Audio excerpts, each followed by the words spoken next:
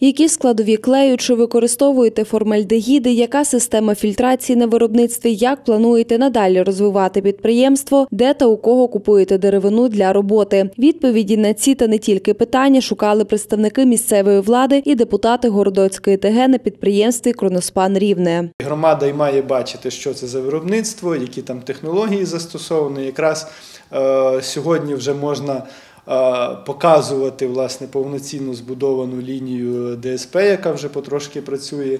От, і відповідно теж кожен учасник громади, е, депутат може побачити, як то виробництво працює, яку продукцію воно виготовляє, і відповідно які технології тут запроваджені. Компанія Кроноспан встановлює не тільки найсучасніше обладнання, а й допомагає громаді справді контролювати свою роботу і взагалі стан повітря в е, городку. Саме тому е, ми активно приймаємо участь в побудові системи моніторингу стану повітря, придбали і передали постмоніторингу. Ще з моменту початку будівництва деревообробного підприємства у городку у 2019 році найбільше, що цікавило місцевих, це екологічність виробництва і робочі місця. Староста селища Обарів, яке є частиною Городоцької ТГ, розповідає, вражена масштабами виробництва, а головне вдалося почути відповіді на те, що найбільше турбувало. З усього видно, що це європейські стандарти і що керівництво м, наперед думає про те, що ми справді скоро ну,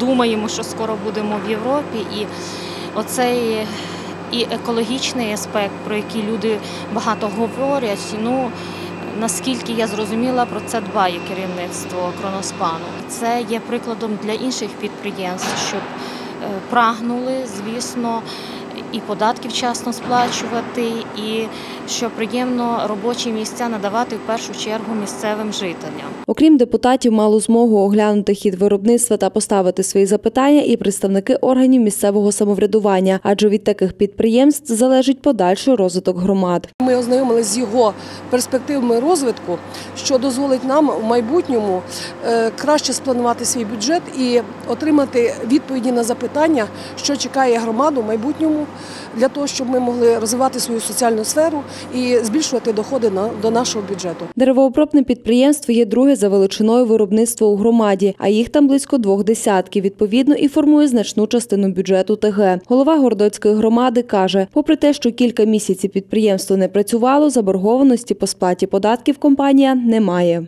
2020 першому році це було ПДФО 8 мільйонів з половиною гривень. В цьому році 11 мільйонів 300 тільки за період з 1 січня по листопад місяць. Ще не завершений бюджетний рік. Ми бачимо, аналізуючи ці цифри, ми бачимо тенденцію до збільшення. Плюс земельний податок 650 тисяч у місяць. Це є суттєвий дохід для нашого бюджету. Ну, ми постійно комунікуємо. Вони нам допомагають у вирішенні деяких наших соціальних проблем. У цьому році ми, наприклад, спільно з підприємством Корноспан відремонтували дорогу державного значення, яка веде від траси Н-22 по городку. Наразі на підприємстві вже працює одна із запланованих ліній. Водночас продовжуються роботи з будівництва та монтажу остаткування для інших цехів. Загалом там вже створено 180 робочих місць, в перспективі 500.